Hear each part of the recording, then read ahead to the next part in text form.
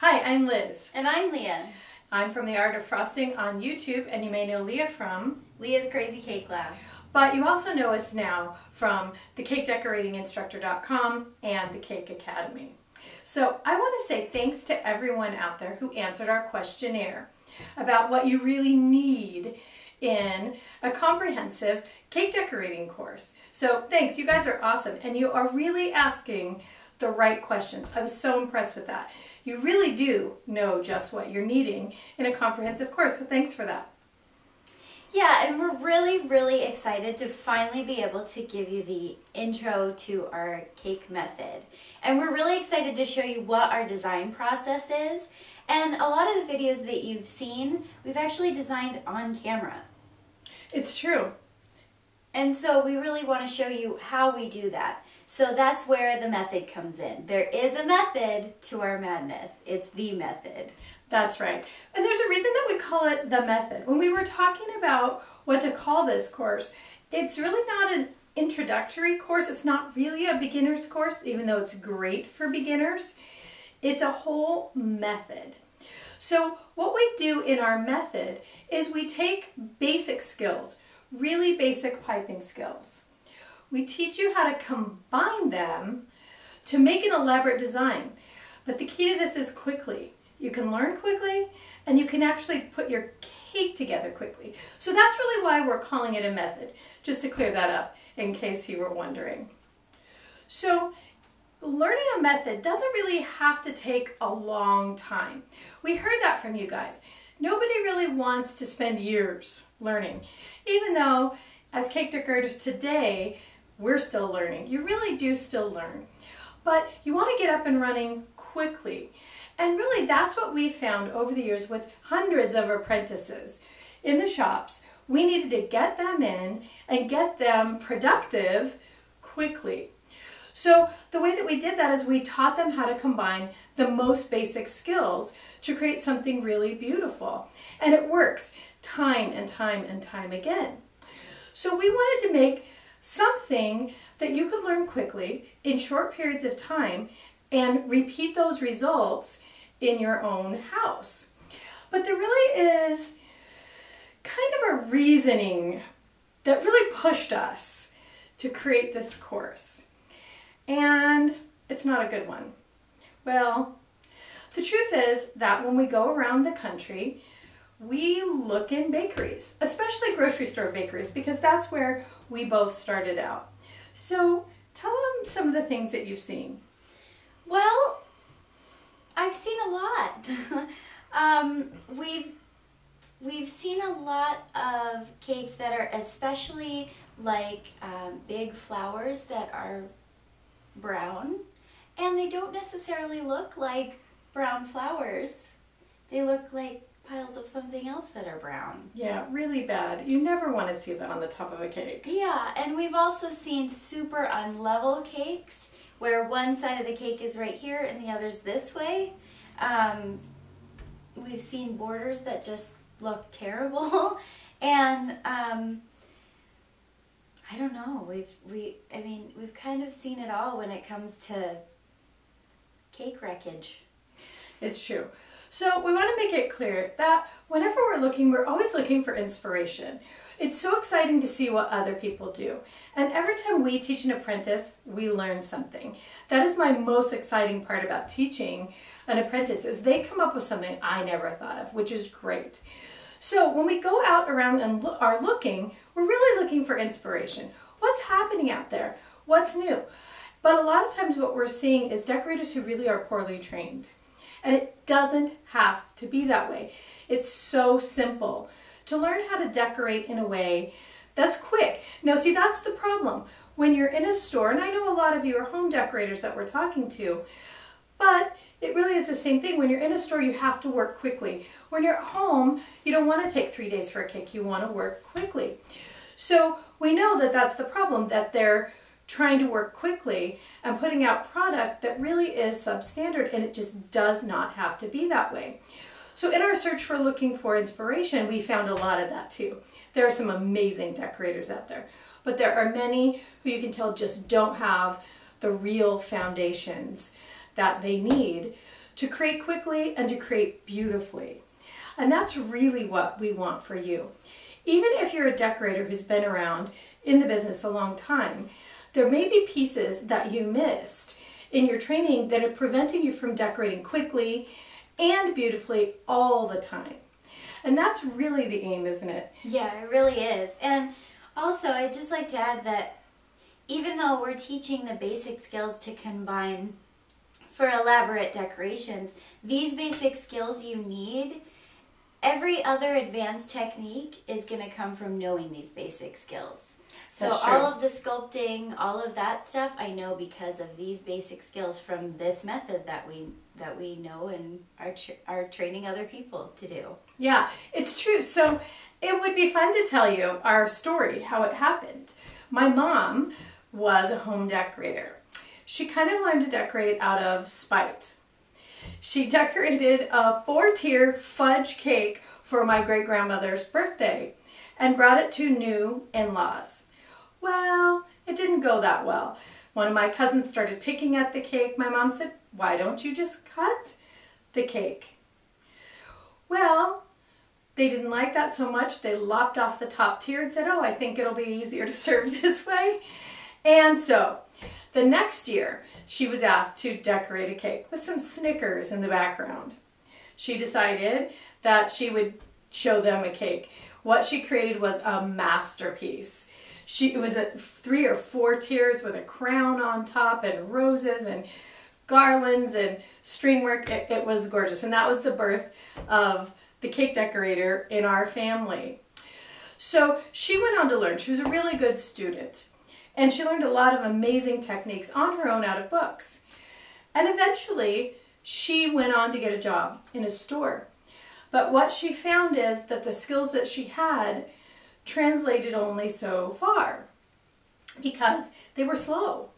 Hard drying flowers, you know, her skills even in piping borders were very, very slow. So she had to relearn.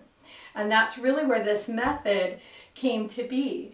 She learned to put together, layer things quickly that weren't necessarily elaborate on their own, but together looked amazing.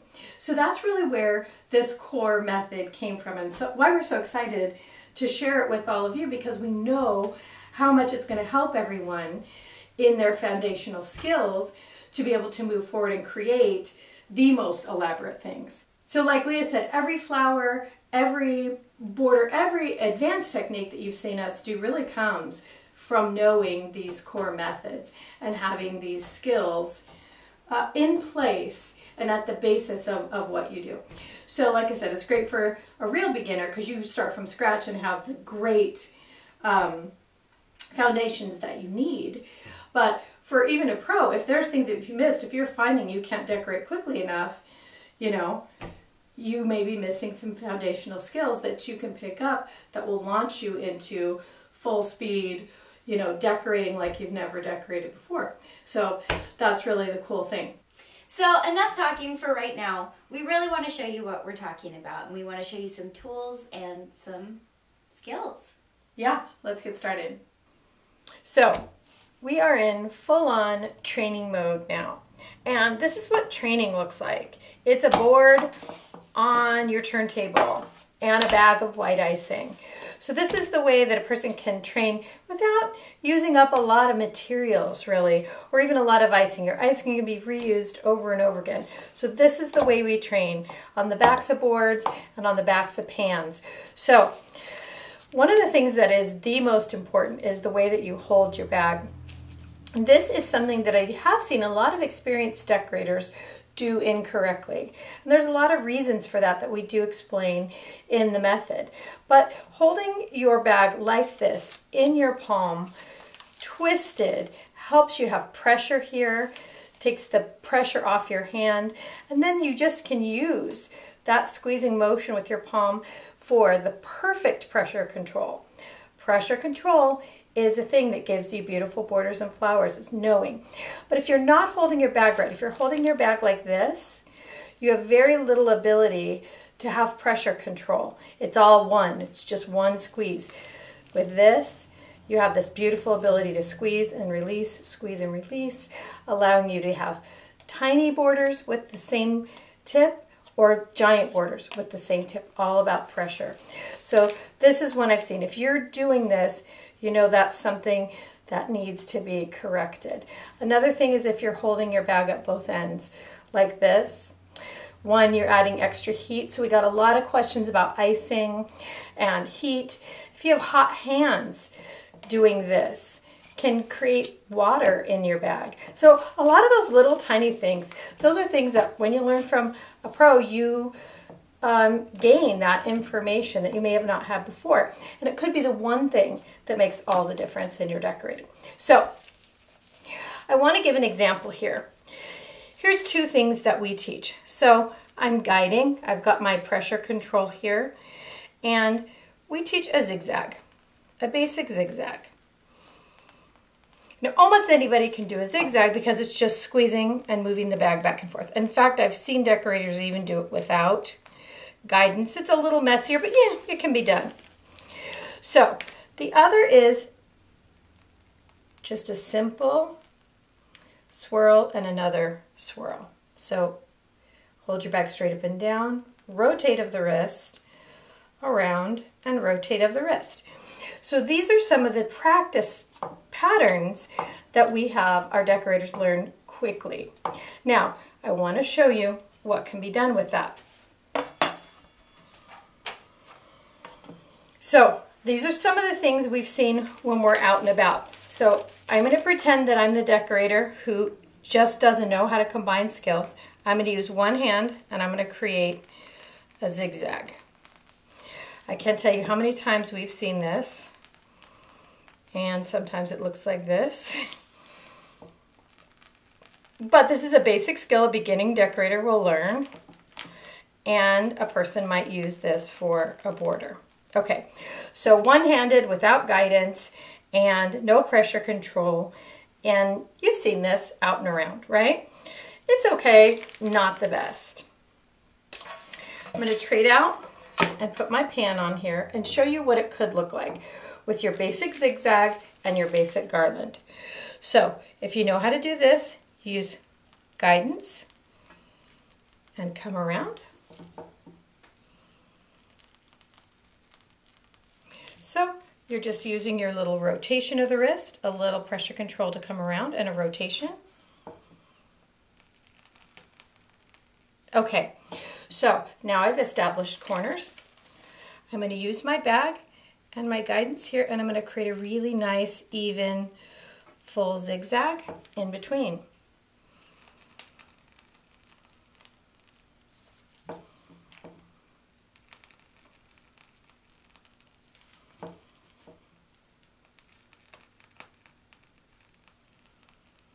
So there's a difference between that and that. Now this took the same amount of time as this did. And so my question is, which do you prefer and which would you rather be putting on your cakes? So in lesson one, you really, with a little bit of practice, would be able to do this border combination. I'm really just expanding on what you've just learned with a different tip.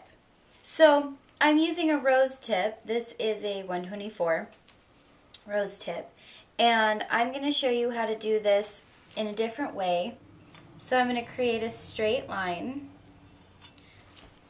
And then I'm going to use the same zigzag technique with my rose tip.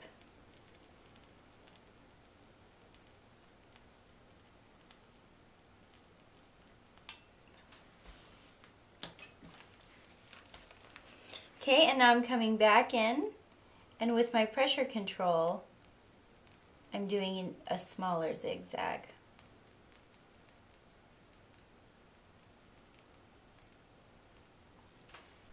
So now let me show you how we can use this on the top of the cake. So I'm just going to shift my tip up slightly. And I'm doing the zigzag here and I'm just rotating my wrist. I'm not moving my elbow at all.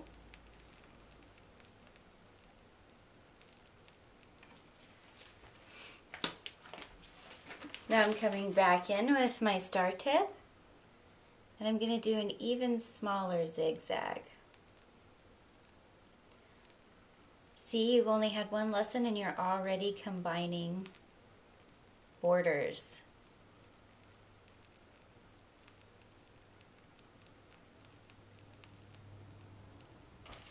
Okay, so now I'm going to add the other border that you learned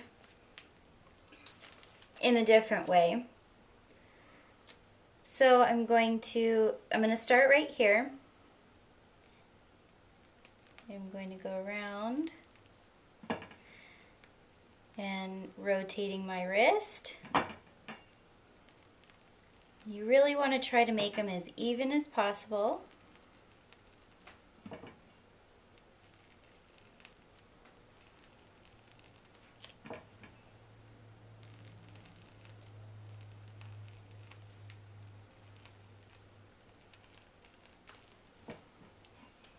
Now you've got a beautiful top of your cake with no flowers. So being able to decorate the top of the cake and fill up the top of the cake is important, especially if you don't know how to do flowers yet. But you still want to make something pretty on top. So what Leah showed is a way to actually create the top of your cake, make a smaller surface for you to have to decorate or put some design on. So borders can really help you in that way. So I want to show you one more thing that we can do with just the techniques we've learned so far. And I've got my pressure control here in my hand, I'm guiding, and we're just going to create an S shape. Now I'm using a little more of a drop line technique, which you'll learn, but I'm just using that little rosette there. And also rotating my tip one more time with even pressure control, a dollop in the center. So now I've got a place that I can write on my cake. I've got a little bit of a design here. I can add a cherry or a candy or some sprinkles in the middle, but I've got a fully decorated top of the cake. So we hope we made good on our promise to show you that even with the most basic skills, so two of the most beginning basic piping skills, that you can begin to create beautiful borders. Really, within your first cake decorating lesson, you could be able to do this. It's kind of amazing, isn't it? I think it's awesome. Yeah, I, am always thrilled every time I see a new apprentice create the first top of a cake that's really beautiful and they're always so thrilled with themselves. So I can't wait for you guys to have that same experience. And if you're already a decorator, I hope you might be noticing some ways that you can use your skills that you already have or ways that you can hone them a little bit. But this is the way that our more than 60 million viewers have begun to learn to decorate. We've been so excited to hear from so many people around the world that started businesses using these techniques. So that was one of the questions that we got was, can a home decorator really make any money decorating from home? Well, you can if you know how to do it quickly, right? Exactly. And so some of the objections that we saw on on our questionnaire was one, you have to be super talented to decorate. Two, it's too expensive to decorate. And three, you don't have any time to learn these skills. So those are things that we're going to address in our next video. Yeah, you guys will be surprised to find out what it really takes to become a great decorator home or for business. So we want to thank you for your time for joining us. We hope you learned a little bit today. If you did, get out there and get in some training. Start to practice on the backs of your pans and on your boards or on anything you can find. Maybe not your kids or the dog. That's probably not a good idea. I don't think so. Anyway, we really want you to be a part of the conversation. So we want to know specifically what were you surprised about the most about combining just these two simple techniques? Want to hear your thoughts on it. It's always exciting to us. So let's get the conversation started and we will see you again very soon. Bye. Bye.